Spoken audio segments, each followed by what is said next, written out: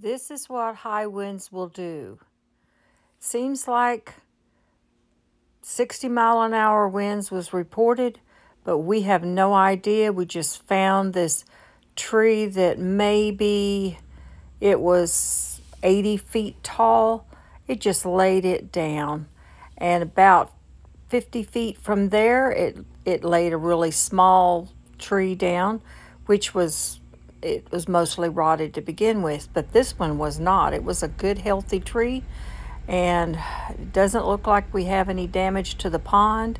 It was very close to the pond, though, and uh, the goats loved it, so they're munching on all of the green, so it didn't go to waste, but we really did have a surprise when we came home.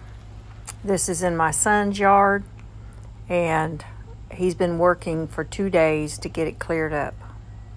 And this is Linda with Six Acres Farm, and I am at Halo Farms, and this is where the damaged tree is at.